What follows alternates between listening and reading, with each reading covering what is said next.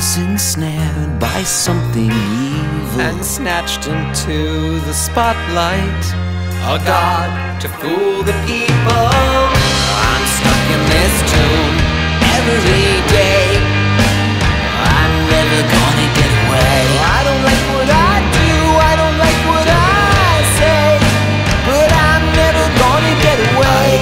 Be the one to free them. I am a puppet of the priest There's no escape, they trapped me Like some domesticated beast. But something stirs inside me An appetite that wants to feast. Some accidental transfer And I have been unleashed